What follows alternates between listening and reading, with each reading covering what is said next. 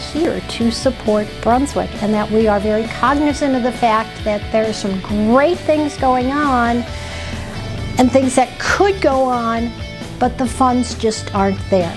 So our purpose is to raise funds in order to support Brunswick schools. Teachers have to fill out a form. They have to tell us how their grant would apply to the curriculum, because it has to be curriculum based.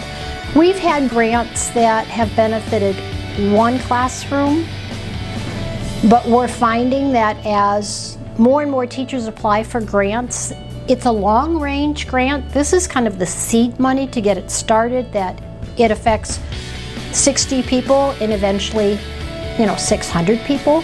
So I think that is really spectacular.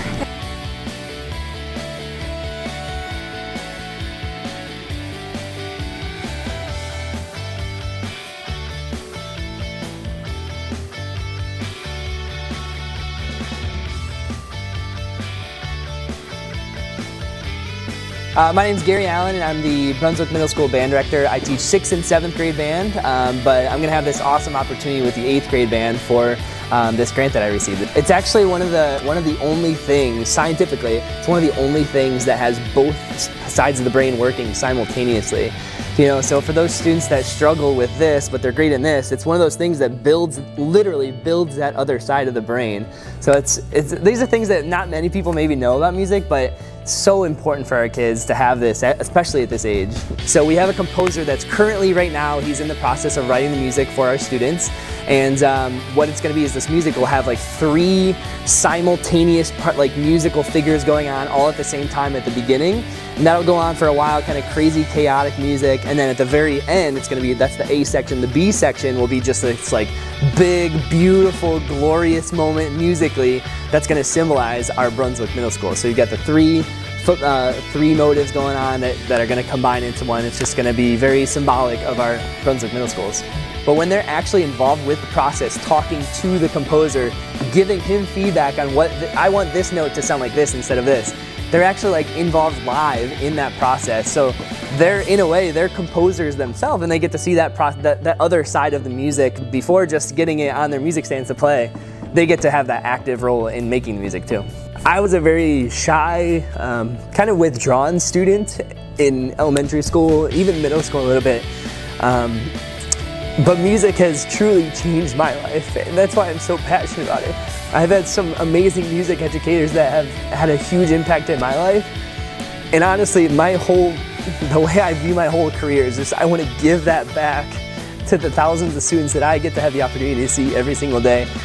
Hi, my name is Marianne Dean. I am a first grade teacher here at Hickory Ridge Elementary. Previously, I've tried to find some STEM projects that um, I can incorporate into our teaching throughout the classroom and just, just like everything else, it's a time crunch. There's more and more standards, there's more and more stuff we're trying to fit into a day and I felt like those were often getting pushed aside, but yet those were the kids' favorite part and they also were tapping into such a different side of their brain that isn't always being pushed. You talk, you, I always hear about um, different businesses looking for people who think outside the box, think differently, think creatively. And so it was like, okay, well, what if we actually made an area in the building that um, students could go to um, where they get a chance to try to do that with a makerspace. So that was kind of my inspiration. my mind got a little crazy where I was like, oh, we're gonna do like electrical currents, we're gonna create things like robots. And then I realized, wait a second, you're a first grade teacher, let's par it down a bit. Um, and I talked with some other people that had started in their buildings and they had done things like a button maker where kids are designing their own buttons and maybe that would stem like, oh, maybe they try to run for something like student council or maybe it was just a club they were creating. So we're starting a little bit smaller with like buttons and um, we do have some circuit breakers to, to test out. And there's so much, there's the science, there's the math, there's the problem solving, there's the teamwork, the cooperative learning. There's so much that's a part of it. That's what makes it so interesting and cool. Ideally, I wanted to start in my classroom, move to the first grade, then slowly open it up to the rest of the building. And I was thinking, okay, maybe in the next quarter I can start in the first group in my classroom, but I'm not sure at this point moving forward how big it'll get. But I think I think it'll be really cool. Like even if it's an option of like going to library and then spending makerspace, or all those indoor recess times, like going to there for recess. I I'm excited to see how it can progress.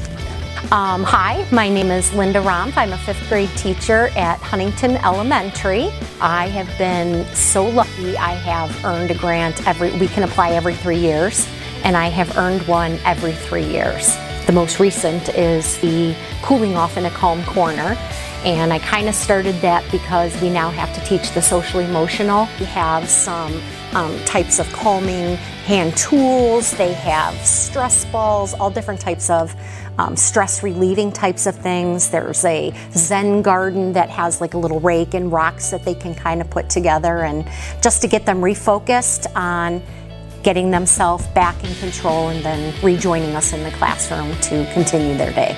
Really puts that back on them to become the problem solver and work through that problem. And they can ask to go to get a hands-on tool or um, you know a stress toy and you know some of the other kids who typically wouldn't use it are asking for those things too. So it has, and I think the kids are just stressed right now.